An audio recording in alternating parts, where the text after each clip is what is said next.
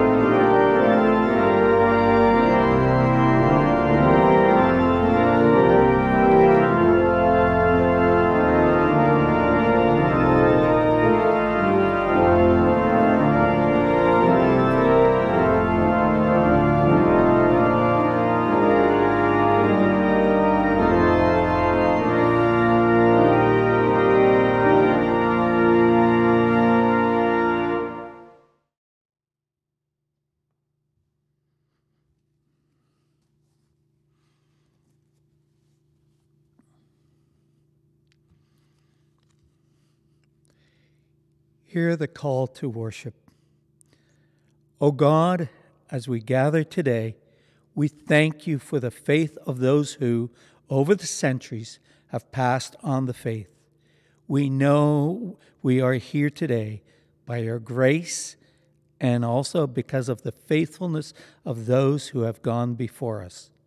May we also transmit the faith in unsullied and undimmed witness so that those who follow may come to know you and your will. Fortify us with a true faith as we draw inspiration and incentive to be faithful in our time. Amen. Let us pray. Dear God, you are a loving, gracious God. You've offered us forgiveness and the gift of life in you. Thank you that your love is perfect it never fails, and that nothing can separate us from your love. We pray that our lives would be filled and overflowing with the power of your love so we can make a difference in this world and bring honor to you. We ask for your help in reminding us that the most important things are not what we do outwardly, not based on any talent or gift, but the most significant thing we can do in this life is simply to love you and to choose to love others. Lord, thank you that your love is patient. Help us to show patience with those around us. Lord, thank you that your love is kind. Help us to extend kindness to others. Lord, thank you that true love is not jealous. Help us Cast aside feelings of jealousy or hatred towards others. Amen. And now let us sing hymn number 326, O for a thousand tongues to sing, out of Voices United, verses 1, 2, and 5.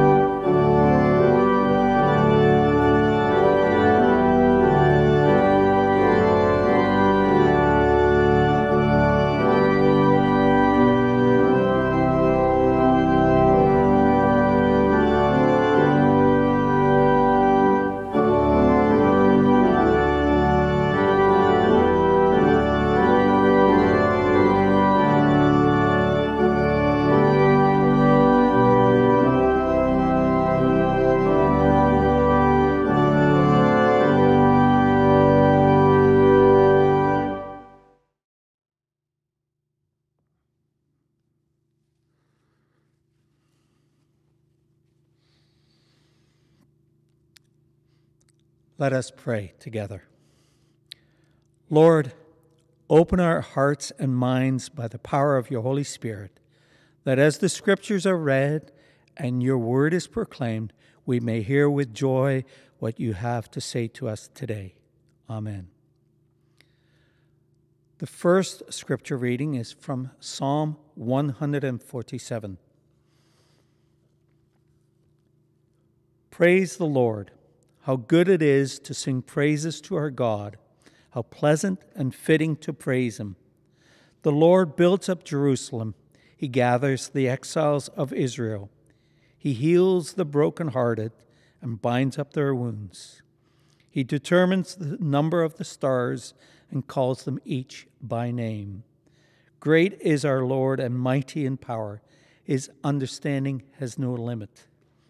The Lord sustains the humble but casts the wicked to the ground. Sing to the Lord with thanksgiving. Make music to our God on the harp. He covers the sky with clouds. He supplies the earth with rain and makes grass grow on the hills.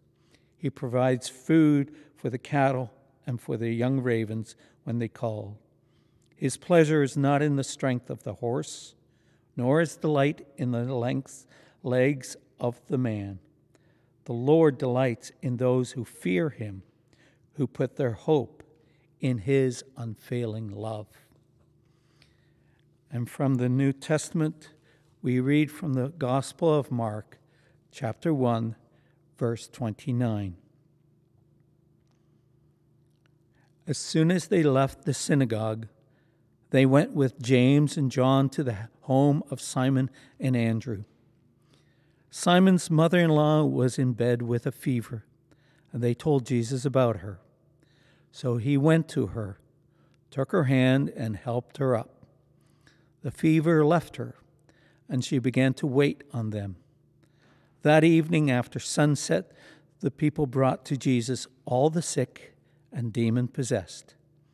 The whole town gathered at the door, and Jesus healed many who had various diseases. He also drove out many demons, but would not let the demons speak because they knew who he was. Very early in the morning, while it was still dark, Jesus got up, left the house, and went off to a solitary place where he prayed. Simon and his companions went to look for him, and when they found him, they exclaimed, Everyone is looking for you. Jesus replied, Let us go somewhere else, to the nearby villages, so I can preach there also. That is why I have come. So he traveled throughout Galilee, preaching in their synagogues and driving out demons. May God bless the reading of his word to us this day and bring us great joy. Today's message is the gospel of healing. What a beautiful picture of a caring God the psalmist paints. He heals the brokenhearted and binds up their wounds. God is caring and compassionate, like a caring doctor or nurse. He dresses the wounds to heal them physically and addresses the emotion to bring complete wholeness of body and spirit. God is the ultimate physician with the best bedside manner. Thus, I actually picture God more as a nurse. He brings the rain so grass will grow and there will be healthy livestock. God is sovereign over creation and cares for our physical needs of hunger. God renews life throughout creation to continue the cycle of life and bless us as the crown of creation. The Lord delights in those who put their hope in his unfailing love. God is infinite, and his love is infinite. God is faithful to his promise. He will not and cannot fail us. It is contrary to his character. We can put our trust in God. And as we do, God will joyfully uphold us. As Jesus walked the earth, that image of a faithful, loving, eternal God comes to life amidst us. I think that if you want to become rich, you will want to go to a large city like Toronto. You might try to go up the executive ladder of a big company, or you might produce and sell some new product or item, or you might get involved in some land development. Likewise, if you want to have great influence, even develop a big, successful church, you would choose Toronto or the surrounding area as a base. You would not be moving to a place like North Bay in order to become a national hero or f- famous. Jesus didn't think that way. He did not go to Jerusalem in order to influence the world. He did not go there to preach and to heal the sick, the lame, and the demonic. No, instead, he goes very far north to a small town on the shore of the Sea of Galilee. Was it fear because John the Baptist had been arrested? No. Jesus understood that he had a twofold mission to fulfill. He came to express the love of God in his teaching and healing and ultimate death. And secondly, he had to leave behind a trained group of believers. As we pick up today's text in the Gospel of Mark, we meet James, John, Simon, and Andrew. Here are the first four disciples, two sets of brothers, fishermen, who Jesus was training to be fishers of men and key leaders of the new religious movement, the Christian church. These four men lived in Capernaum as they fished on the Sea of Galilee. They were rugged men, devout in spirit. They were the base upon which he would build his group of believers. Jesus set up his base camp in Capernaum with this small group of four men. And as Jesus lived in Capernaum, he obviously came into contact with the families of his four disciples. And as Simon's mother in law was ill, Jesus naturally healed her. He was aware of the misery and intervened. But her healing was not natural or explainable. It was immediate, miraculous, divine. It was newsworthy, and the news spread like wildfire. At this point, I'm not very sure how much of a time lapse there was between the healing of the demonic that I spoke about last week and that of Simon's mother in law this week. But here was something new and exciting. I must admit, I don't like these movies where you see one event and then it brings you back to something different. And then it goes on, comes back, goes on. I get very frustrated with that. And at this point, it seems that that's what the biblical text does. Because as last week's text ended with the news spreading quickly throughout Galilee, again, we see news spreading again quickly.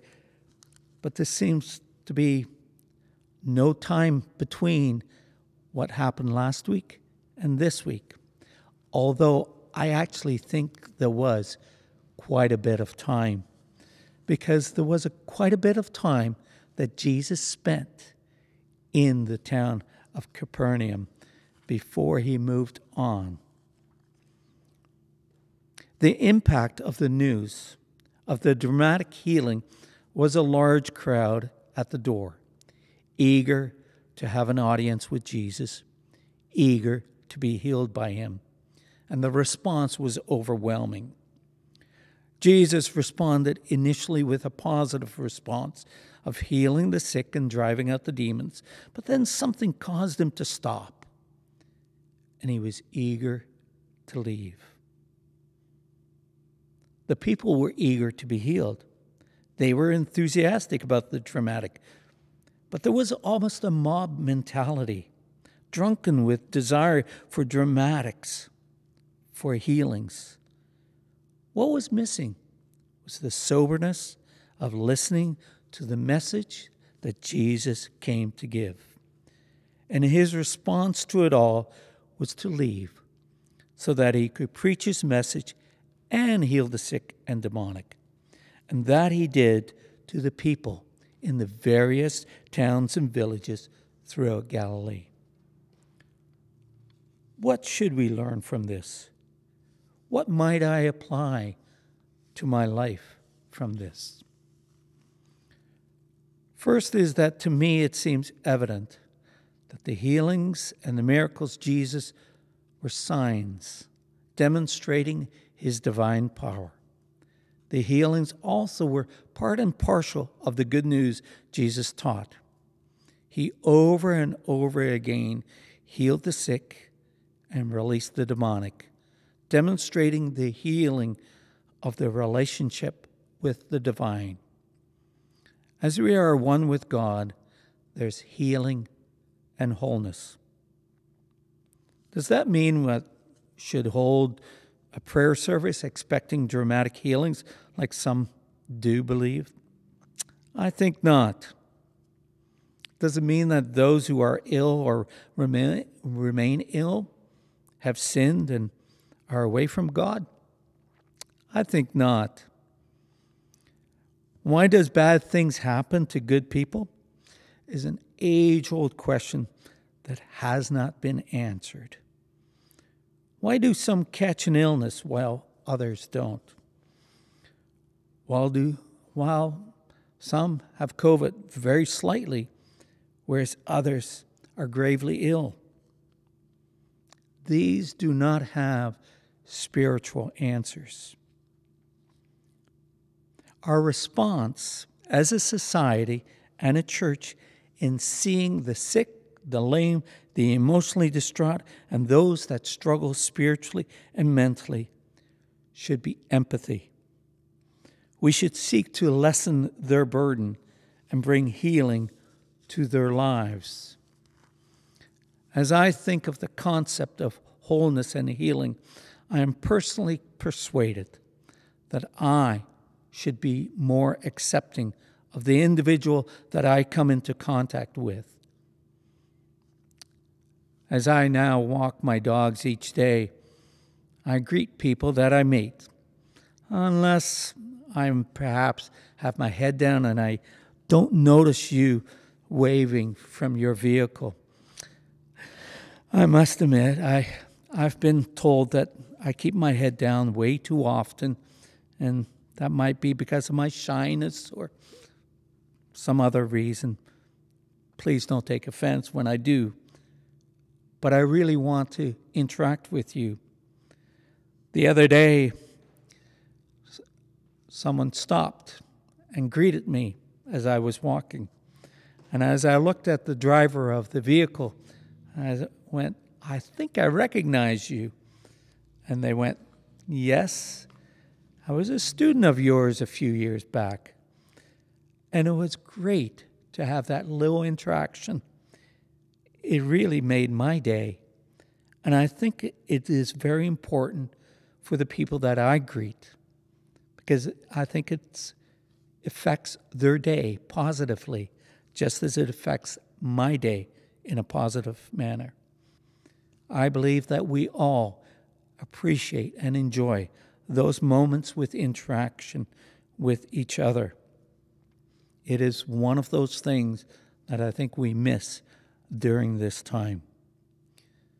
But I think especially of those that struggle, that might have a mental handicap, mental illness, or just feeling depressed. As Jesus shared the good news and compassionately healed, so I, as a Christian, should bring healing to a broken world by my acceptance of others, others from different cultures, different races, and different perspectives. I think that we as a church have a great opportunity at this point to think of the Black Lives Matter movement and to be a part of it, a key part. I think of the equity issue today. I think of the issue still of the problem between the different between how we treat women as opposed to men in the workplace. I think we need to continue to strive towards equity, towards respect and dignity of others. I think it is great that one of the first things that President Biden did was to sign a document stopping the prejudice of people coming from a major Muslim country. I think as a church, we need to continue to provide strength and encouragement and authority towards all those issues of equity. And I, as an individual, can do my part to show respect and to provide dignity and acceptance to others. As God is one, may we be one.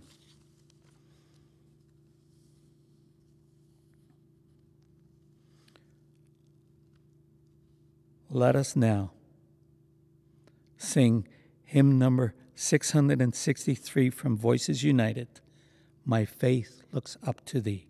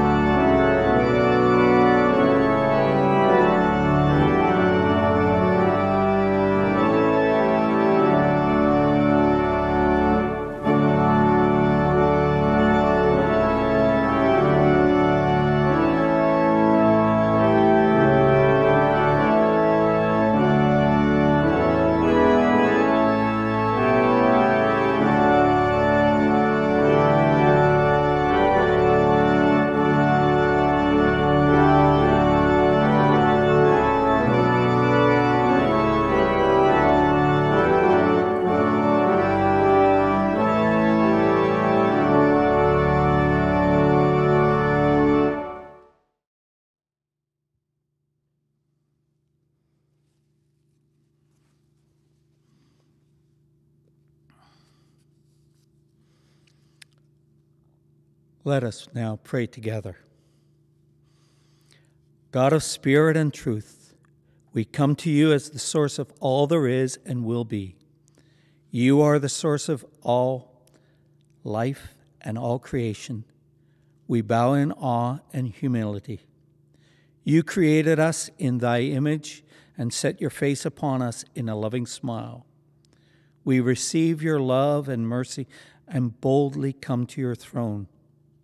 Help us as we personally and individually struggle with loneliness, depression, frustration, heartache, and sickness. God, we pray in silence for those near and dear to us who struggle with these same issues. Comfort and strengthen them. O oh God, we pray for our world and its leaders. Help the vaccine give worldwide relief to COVID. Help us to further research on other diseases. Give us the compassion to eradicate hunger and disease. Help us to be more caring about the environment. And help us to bring respect and dignity to all people of all races, creed, religion, gender, and sexual orientation.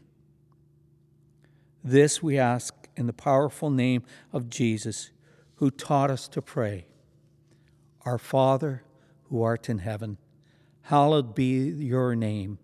Your kingdom come, your will be done on earth as it is in heaven. Give us today our daily bread. Forgive us our sins, as we forgive those who sin against us. Lead us not into temptation, but deliver us from evil.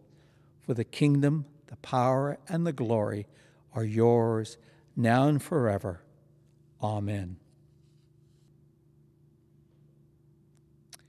We will now be singing in conclusion hymn number 563 Jesus, you have come to the lakeshore.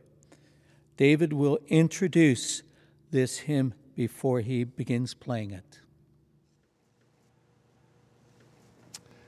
Thanks, Chris.